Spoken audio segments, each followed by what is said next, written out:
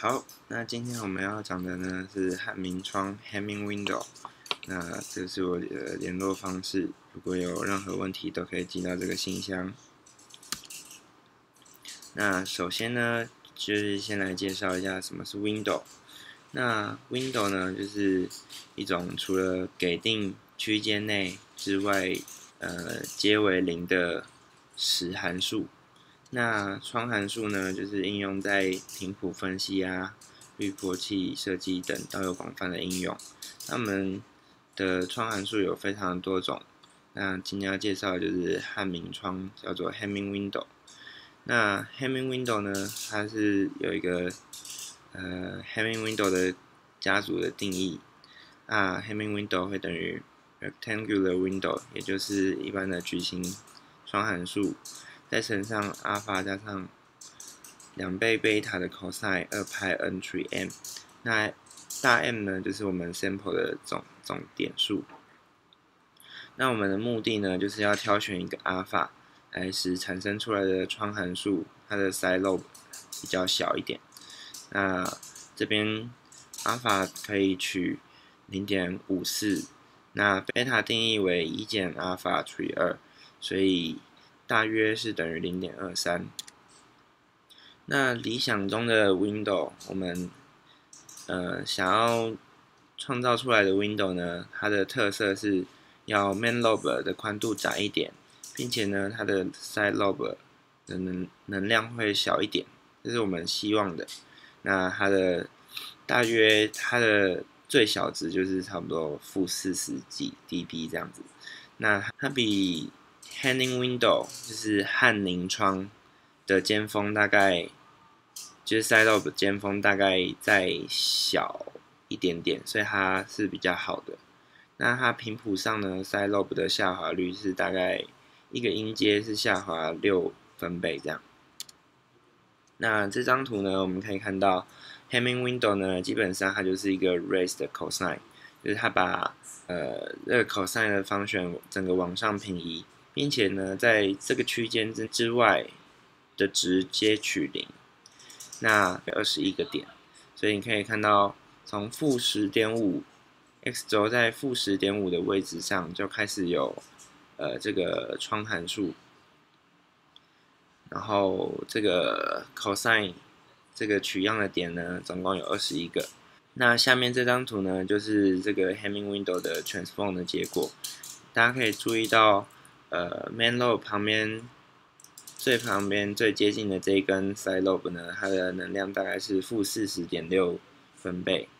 那呃，我们可以在下张图看到更多的取样点数对于呃它的傅立叶转换呃结果是不一样的。好像这张图呢，就是。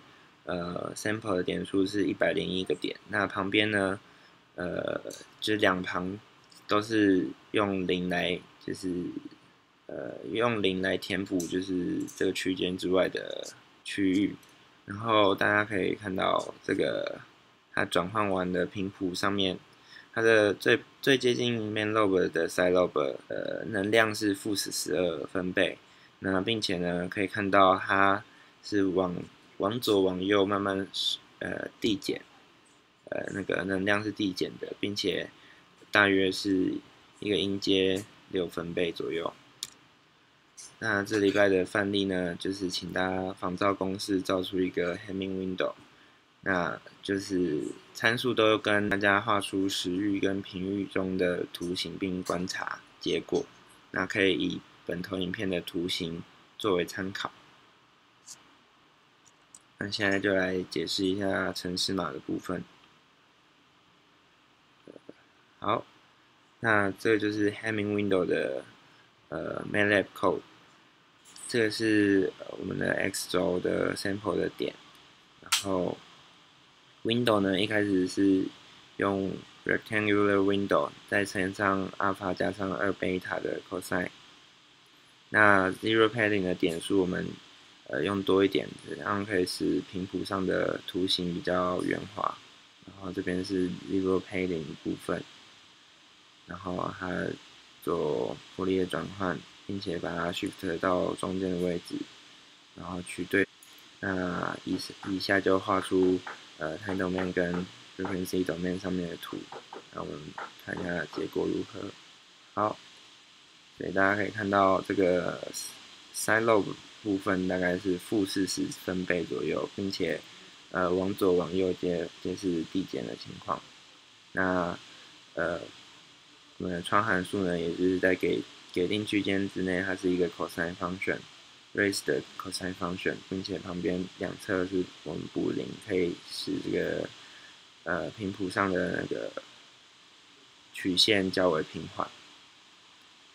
好，那这是我们的 example one。